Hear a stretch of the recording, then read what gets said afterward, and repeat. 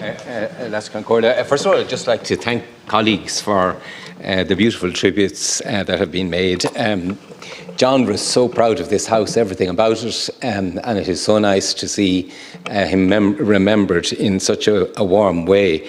Um, I'd like to thank you on behalf of Finola, Matthew, Juliana, Emily, and of course my sister Mary. And I should say, the next generation, Ophelia, Hugo, Oliver, and Robin, who were the apple of his eye, as they say, and buoyed him up, particularly during his lo long illness.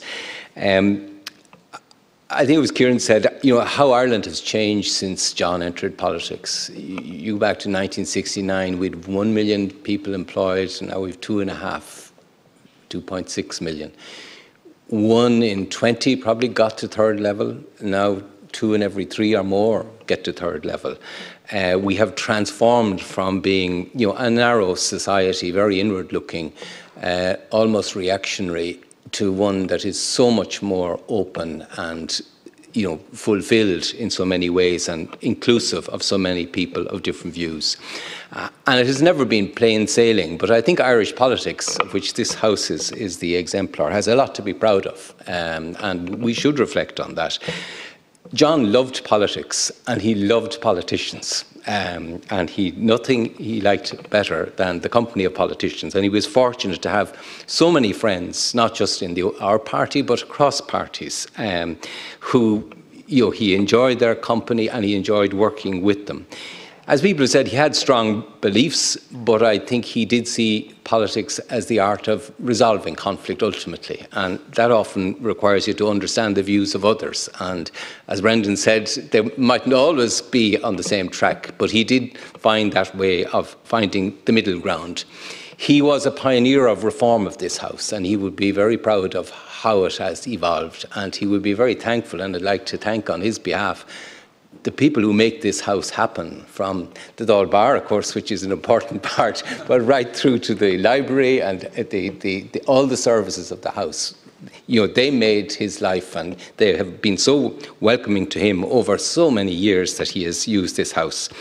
He believed that the European Union was the greatest uh, creation in international collaboration that was ever made, that countries having warred together would come together voluntarily to try and achieve more together than they could on their own.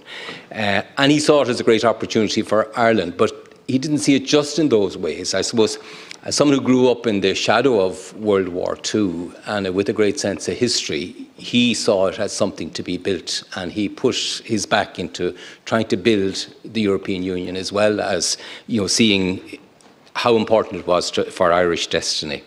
He was, as people said, um, a man of a lot of ideas. Um, over one weekend, he wrote a plan for the nation. Uh, so he didn't lack ambition. uh,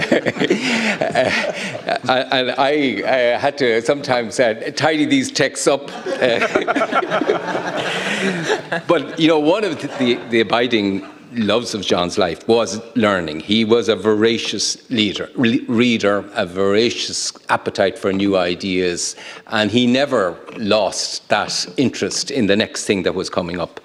Uh, it, my earliest uh, experience of his love of education was when he was given the task of teaching Mary and myself French uh, when we were quite small. But I don't know how successful his French teaching was. It was a time of um, French without tears uh, was the, uh, the, the high point of, of French learning. But both of us uh, still speak the language and have an abiding love for it. So he did he did do a, a, a lot, and education was something that he was very proud of uh, to to promote it. I suppose politics matters because it allows us to do big things and little things that make people's lives better. And he always travelled under the slogan, you know, every person counts. I think he, he brought it into his, his uh, dealings with everyone. And I'd have to say that he has struggled himself um, over the past year and more.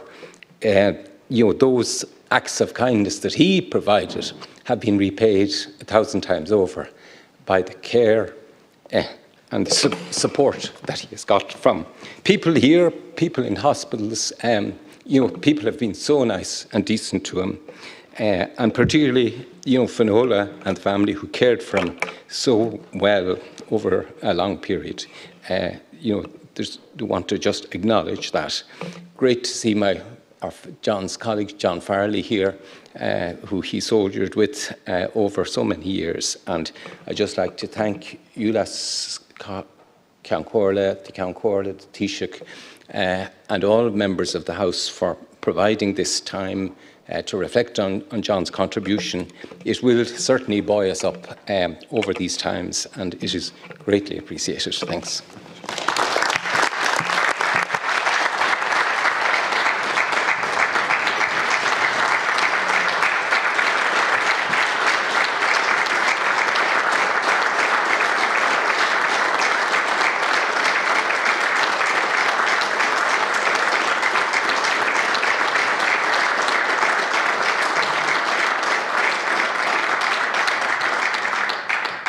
gur mágih agus inis i nílcuimhne ar íortíiseach na tíra agus in ummós seaimiid le chéile ar nómad amháin inar dust.